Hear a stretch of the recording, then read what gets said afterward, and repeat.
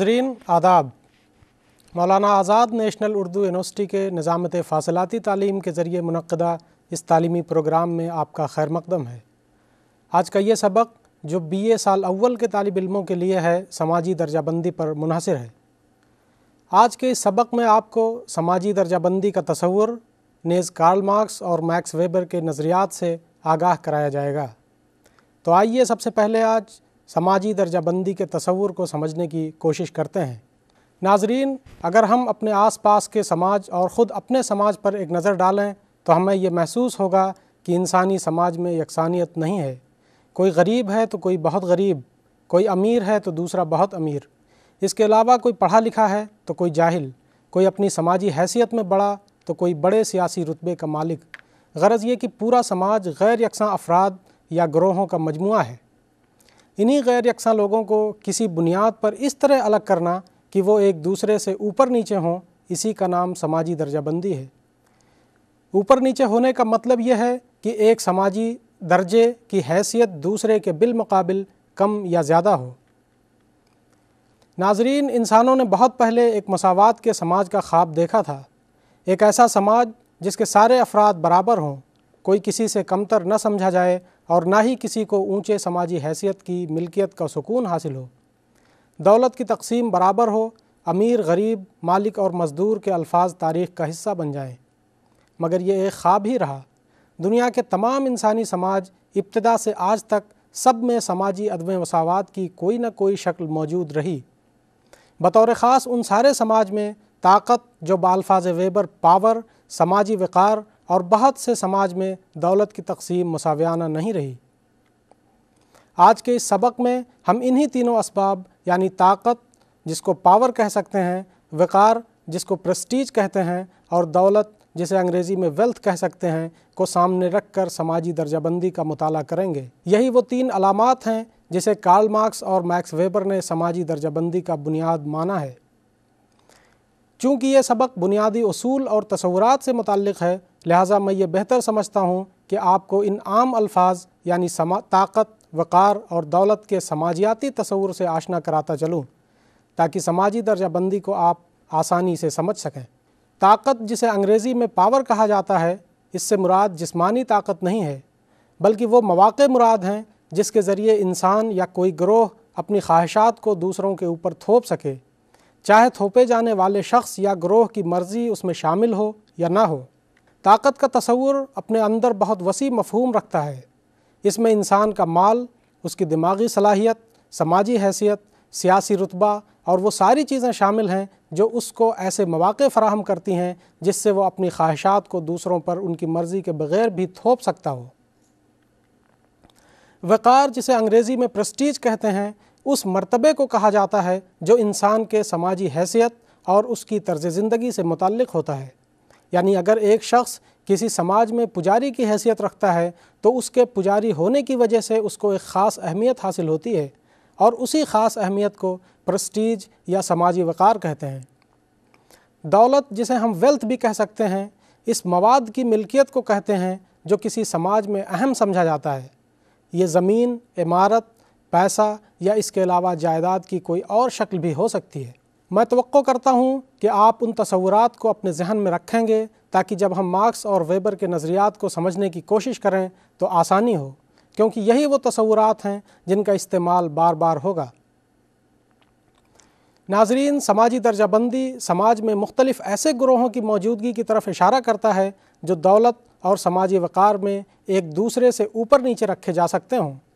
جو لوگ ایک سماجی گروہ یا درجے سے تعلق رکھتے ہیں، ان کی طرز زندگی ایک طرح کی ہوتی ہے اور وہ اپنے مشترکہ مفاد اور مشترک پہچان سے آشنا ہوتے ہیں۔ ہندوستانی سماج میں ذات پات کا نظام سماجی درجہ بندی کی ایک اچھی مثال ہے۔ ویسے تو بہت سے ماہرین سماجیات نے سماجی درجہ بندی کو مختلف بنیادوں پر مختلف طریقوں سے کیا ہے۔ سماج کو مختلف بنیادوں پر مختلف حصوں میں تقسیم کیا ہے۔ اسی میں سے میکس ویبر اور کارل مارکس بھی ایک ہیں۔ لیکن کارل مارکس اور میکس ویبر کا کام بہت اہم سمجھا جاتا ہے۔ لہٰذا، مجھے امید ہے کہ آپ سماجی درجہ بندی کے بنیادی تصور کو سمجھ چکے ہیں اور اب ہم کارل مارکس اور میکس ویبر کے نظریات کو سمجھتے ہیں۔ لہٰذا، آئیے اب ہم سب سے پہلے کارل مارکس کے وہ نظریات سمجھتے ہیں جو اس نے سماجی درجہ بندی کے متعلق کہے ہیں۔ ناظرین، کارل مارکس سماجی علوم کے پس منظر میں ایک بڑا نام ہے۔ اس کی پیدائش جرمنی میں اٹھارہ سو اٹھارہ عیسوی میں ہوئی۔ زندگی کے اتار چڑھاؤ کو جھیلتے ہوئے اس شخص نے کافی علمی و تحقیقی کام کیا اور اٹھارہ سو بیاسی عیسوی میں فوت ہو گیا۔ مارکس نے سماجی عدم مساوات کے بجائے سماجی طبقے پر زیادہ زور دیا ہے۔ وہ سماج کو دو بنیادی سماجی طبقوں میں بانٹنا چاہتا ہے، جسے اس نے کلاس کا نام دیا ہے۔ ایک طبقہ جو مالک ہے جس کو وہ بورجوا کا نام دیتا ہے اور دوسرا مزدور جس کو وہ پرولیتیریت کہتا ہے۔ اس تقسیم کی بنیاد سماجی طبقوں کا ذرائع پیداوار سے تعلق کی نوعیت ہے۔ یعنی ایک طبقہ ذرائع پیداوار چاہے وہ زمین ہو، جائیداد ہو، کارخانے ہوں یا روپے پیسے ہوں، ان کا مالک ہوتا ہے اور دوسرا طبقہ اس مالک کے لیے کام کرتا ہے جس کے بدلے میں اس کی ضروریات زندگی کی تکمیل ہوتی ہے۔ مارکس کے مطابق طبقہ وہ سماجی گروہ ہے جس کے سارے افراد ذرائع پیداوار سے ایک ہی طرح کا رشتہ رکھتے ہوں۔ یعنی جو لوگ ذرائع پیداوار کے مالک ہیں، وہ ایک سماجی طبقے کے لوگ ہوں گے، اور جو لوگ مالک نہیں ہیں، وہ دوسرے سماجی طبقے سے متعلق ہوں گے۔ اس تقسیم میں شخصی آمدنی کا خیال نہیں رکھا گیا۔ یعنی ایک شخص اگر چھوٹے ہوٹل کا مالک ہے، تو بورجوا طبقے کا ہی فرد ہوگا۔ جبکہ دوسرا شخص جو ایک بڑی کمپنی میں مینیجر کی حیثیت سے نوکری کرتا ہے اور چھوٹے ہوٹل کے مالک سے کہیں زیادہ پیسے کماتا ہے، مگر اس کا تعلق پرولوتیریت یعنی مزدوروں کے طبقے سے ہی ہوگا۔ مارکس کا ماننا ہے کہ سماج چار مختلف ادوار سے ہوتا ہوا اس شکل تک پہنچا ہے۔ ان چار ادوار کو وہ پرمیٹیو کمیونزم جسے ابتدائی سماج کہہ سکتے ہیں اینشینٹ سوسائٹی جسے قدیم سماج کہا جا سکتا ہے فیوڈل سوسائٹی جسے زمیندارانہ سماج کہتے ہیں کیپٹلسٹ سوسائٹی جو آج کا سرمایہ دارانہ سماج ہے۔ یہ چار ادوار وہ بتاتا ہے۔ ان چاروں ادوار میں پرمیٹیو کمیونزم یعنی ابتدائی سماج کے علاوہ ہر سماج دو بنیادی طبقوں میں منقسم ہے۔ زمانہ قدیم میں غلام اور آقا، زمیندارانہ نظام میں زمیندار اور ان کے زرعی غلام، نیز اس سرمایہ دارانہ نظام میں سرمایہ دار اور مزدور، جیسے بنیادی سماجی طبقوں کا وجود ملتا ہے۔ ہر تاریخی دور میں پیداوار کے لیے مزدوروں کی ضرورت پڑتی ہے۔ جن کی فراہمی ہمیشہ محکوم طبقے سے ہوتی ہے۔ وہ چاہے غلاموں کی شکل میں یا زرعی غلام کی شکل میں یا پھر پیسہ کمانے والے مزدوروں کی شکل میں ہو۔ ناظرین، محکوم طبقہ ہمیشہ سماج کا بڑا طبقہ رہا ہے، جبکہ حاکم طبقہ ہر تاریخی دور میں کم لوگوں پر مشتمل ہوتا ہے۔ مارکس کا ماننا ہے کہ زمانہ قدیم سے پہلے کا دور، جس کا کوئی تاریخی ریکارڈ نہیں ہے اور جسے مارکس پرمیٹیو کمیونزم کہتا ہے، سماجی طبقات کا دور نہ تھا۔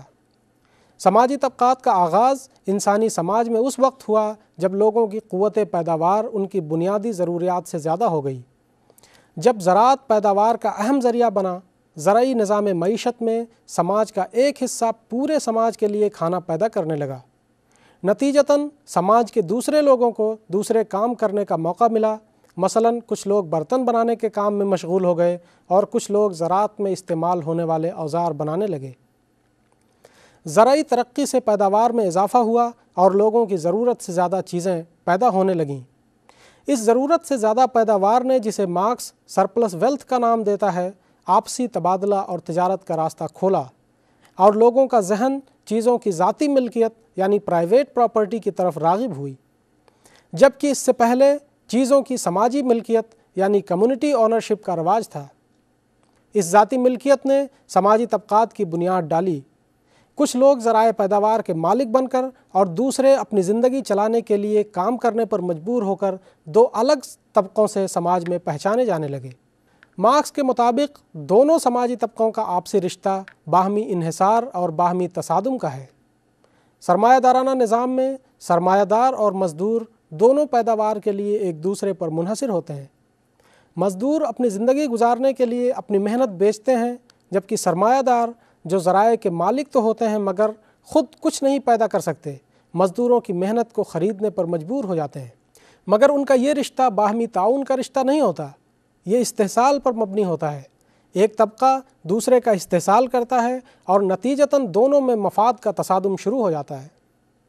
سرمایہ دار نظام میں سرمایہ دارانہ نظام میں سرمایہ دار چیزوں کو پیدا کرنے میں سرمایہ کو اس مقصد سے لگاتا ہے تاکہ اس سے نفع کمائے۔ پیسوں کو چیزوں میں تبدیل کیا جاتا ہے اور پھر انہی چیزوں کو پیسوں میں اس طرح تبدیل کیا جاتا ہے کہ یہ پیسہ پہلے سے زیادہ ہو۔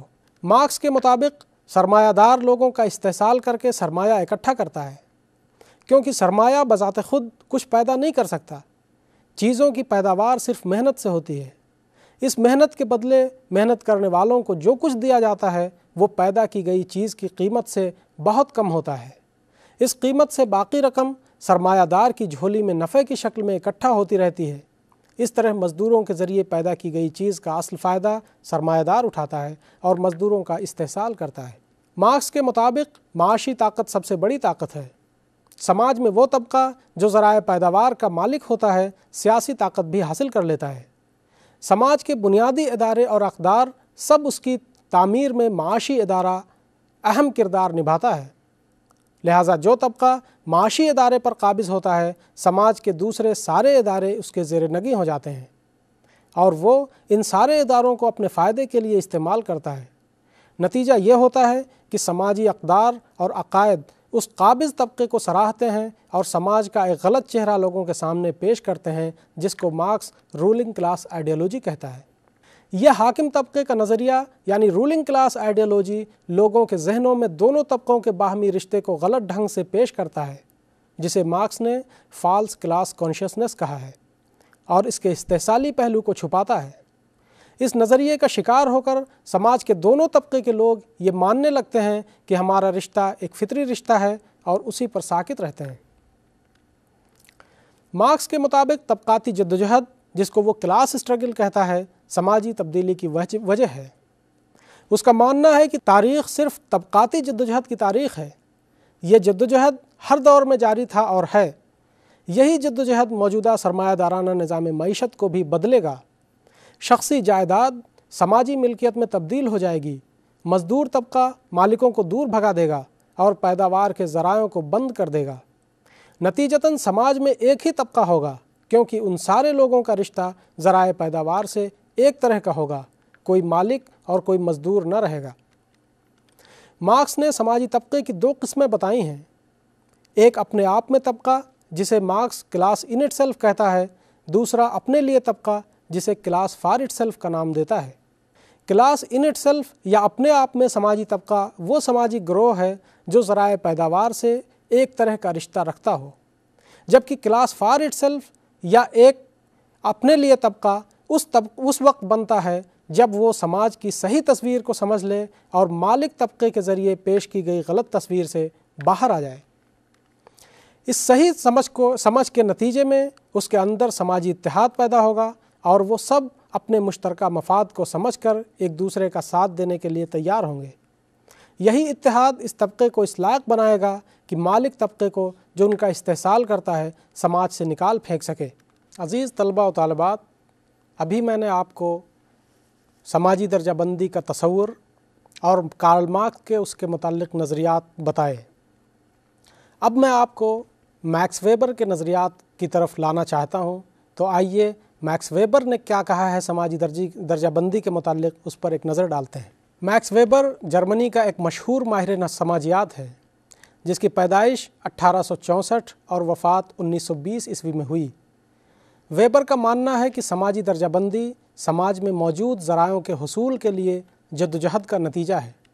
وہ یہ مانتا ہے کہ بنیادی طور پر جدوجہد معاشی ذرائعوں کے حصول کے لیے ہے، مگر سیاسی طاقت اور سماجی وقار کا حصول بھی اس میں شامل ہے۔ انہی تین چیزوں کو بنیاد بنا کر ویبر نے سماجی درجہ بندی کو تین طرح دیکھا ہے، جسے وہ سماجی طبقہ یعنی کلاس، حیثیتی گروہ یعنی اسٹیٹس گروپ اور پارٹی کہتا ہے۔ ان تینوں کو ہم الگ الگ سمجھتے ہیں۔ مارکس کی طرح ویبر نے بھی طبقے کو معاشی بنیاد پر رکھا ہے۔ اس کا ماننا ہے کہ طبقہ اس بازاری معیشت میں پیدا ہوتا ہے جہاں لوگ معاشی حصول کے لیے باہمی مقابلہ کرتے ہیں۔ طبقے کی تعریف کرتے ہوئے وہ کہتا ہے کہ طبقہ لوگوں کا ایک ایسا گروہ ہے جو بازاری معیشت میں ایک حیثیت رکھتے ہیں۔ وہ ایک حیثیت ہونے کی وجہ سے ان کو یکساں معاشی انعامات ملتے ہیں۔ ویبر اس کو یوں کہتا ہے کہ لوگوں کی طبقاتی حیثیت ان کی بازاری حیثیت پر مبنی ہے۔ جو لوگ یکساں بازاری حیثیت کے مالک ہوتے ہیں، ان کے مواقع زندگی بھی یکساں ہوتے ہیں۔ ان کی معاشی حیثیت سماج کے مطلوبہ چیزوں کے حصول پر راست اثر انداز ہوتی ہے۔ یعنی سماج کی مطلوبہ چیزوں میں اچھی تعلیم اور اچھے گھر ہیں۔ ان چیزوں کا حصول انسان کی معاشی حیثیت سے متعین ہوتی ہے۔ ویبر لوگوں کی بازاری حیثیت میں کافی فرق دیکھتا ہے۔ بطور خاص، مختلف پیشے کے لوگ جو سماج میں مختلف خدمات فراہم کرتے ہیں، ان کی بازاری حیثیت الگ ہوتی ہے۔ مثلا سرمایہ دارانہ نظام معیشت میں مینیجر بڑے پیشہ ور یا پروفیشنل کافی بڑی تنخواہ لیتے ہیں، کیونکہ ان جیسے لوگوں کی بازار میں مانگ زیادہ ہوتی ہے۔ کسی بھی پیشہ ور گروہ کی بازاری حیثیت ہمیشہ ایک جیسی نہیں ہوتی۔ بازار کی نوعیت میں تبدیلی پیشے کی اہمیت پر اثر انداز ہوتی ہے۔ ایک پیشہ جس کی اہمیت آج بازار میں زیادہ ہے، کل کم ہو سکتی ہے۔ اور اس پیشے کے لوگ جو پیسہ آج کما رہے ہیں ہو سکتا ہے کل نہ کما سکیں۔ لہٰذا ان کی بازاری حیثیت میں تبدیلی ہوتے ہی ان کے مواقع زندگی میں تبدیلی واقع ہوگی اور وہ دوسرے سماجی طبقے سے وابستہ ہو سکتے ہیں۔ ویبر نے سرمایہ دارانہ سماج کو چار سماجی طبقوں میں بانٹا ہے۔ سب سے اونچا کلاس، سب سے اونچا طبقہ، جس کو وہ جائیداد کے مالک لوگ ہیں، جن کو وہ اونچا طبقہ کہتا ہے۔ دا پراپرٹیڈ اپر کلاس، دوسرا سفید پوش کام کرنے والے لوگ یعنی وائٹ کالر ورکرز، تیسرا جسے وہ چھوٹے سرمایہ دار کہتا ہے، پٹی بورجواز۔ اور چوتھا طبقہ، جو مینول ورکنگ کلاس ہے، جسے اردو میں مزدور طبقہ کہتے ہیں۔ یہ چار سماجی طبقات کارل مارکس نے سرمایہ دارانہ نظام معیشت کے بتائے ہیں۔ میکس ویبر کہتا ہے کہ سماجی طبقہ سماجی گروہ کی ایک بنیاد تو ہے، مگر اس کے علاوہ اور بھی چیزیں ہیں جو سماجی گروہ بنانے میں اسباب ہیں۔ انہی میں سے ایک ہے انسان کی سماجی حیثیت۔ سماجی طبقے کا تعلق معاشی عدم مساوات سے ہے، جس کو سماجی حیثیت انسان کے سماجی وقار سے جانی جاتی ہے۔ سماج کے ذریعے لوگوں کو مختلف سطح کی عزت تقریم ملتی ہے۔ اس عزت و تقریم کی بنیاد پیشہ، نسل اور مذہبی گروہ بھی ہو سکتا ہے۔ مگر جو چیز سب سے اہم ہے، وہ ہے طرز زندگی۔ ویبر کے مطابق حیثیتی گروہ ان لوگوں سے مل کر بنتا ہے، جن کو سماج میں ایک طرح کی عزت و تقریم حاصل ہوتی ہے۔ سماجی طبقے کے برخلاف جس کو کلاس کہا جاتا ہے، حیثیتی گروہ یعنی اسٹیٹس گروپ کے لوگوں کو اپنی مشترکہ سماجی حیثیت کا علم ہوتا ہے۔ ان کی طرز زندگی ایک ہوتی ہے اور ان لوگوں کو اس خاص گروہ سے جڑے رہنا کا احساس ہوتا ہے۔ اس صحیح سمجھ کے نتیجے میں ان کے اندر اتحاد پیدا ہوگا۔ وہ اپنے مشترکہ مفاد کو سمجھ کر ایک دوسرے کا ساتھ دینے کے لیے تیار ہوں گے۔ یہی اتحاد اس طبقے کو اس لائق بناتا ہے۔ کہ مالک طبقے کو جو وہ ان کا استحصال کرتا ہے، سماج سے نکال باہر پھینک سکیں۔ ہندو ذات پات کے نظام میں برہمن، چھتری اور ویش گروہ کے لوگوں کا سیاسی وقار مثبت ہوتا ہے۔ جبکہ اس کے علاوہ شودر اور دوسرے گروہ جو اس نظام ذات سے باہر ہیں یعنی چنڈال کا سماجی وقار منفی ہوتا ہے اور اسی سماجی وقار کے مطابق ان کے سماجی حیثیت کا تعین ہوتا ہے۔ ویبر کا ماننا ہے کہ سماج میں سماجی حیثیت اور سماجی طبقے میں کافی قریبی رشتہ ہے۔ ویبر کہتا ہے کہ صرف جائیداد کا ہونا سماجی وقار پانے کے لیے کافی نہیں ہے۔ یہ تو ہو سکتا ہے کہ جائیداد کے آنے سے انسان کے سماجی وقار میں تبدیلی ہو، مگر یہ چیز وقت لیتی ہے۔ یعنی ایک آدمی جو سماج میں کم عزت والا ہو اور اس کی معاشی حیثیت میں بہتری ہو جائے تو اس کی طرز زندگی میں تبدیلی آتی ہے، مگر یہ چیز فوراً نہیں ہوتی، نسلوں میں ہوتی ہے۔ اس لیے یہ ضروری نہیں ہے کہ جو لوگ ایک سماجی طبقے یعنی کلاس سے تعلق رکھتے ہوں، ایک ہی حیثیتی گروہ کے بھی لوگ ہوں۔ ایک سماجی طبقے میں مختلف حیثیتی گروہ کے لوگ شامل ہو سکتے ہیں، مگر اگر ایک کمپنی میں چار مینیجر ہیں تو چاروں ایک ہی سماجی طبقے سے ہیں۔ مگر یہ ضروری نہیں ہے کہ وہ سب ایک ہی ذات کے ہوں۔ ذات چونکہ ایک سماجی وقار کے تعین کا اہم سبب ہے، اس لیے ذات کے الگ ہونے سے ان کی سماجی حیثیت یعنی ان کا اسٹیٹس گروپ الگ الگ ہوگا۔ حیثیتی گروہ طبقے کو مختلف حصوں میں بانٹ سکتا ہے، جس سے طبقے کا اتحاد کمزور ہوتا ہے۔ جیسا کہ ابھی میں نے آپ کو بتایا کہ اگر ایک کارخانے میں چار مینیجر ہیں اور دو دو کر کے چاروں دو مختلف ذاتوں سے تعلق رکھتے ہیں، تو کسی نہ کسی سطح پر یہ چاروں گروہ دو گروہ میں بڑھ سکتے ہیں۔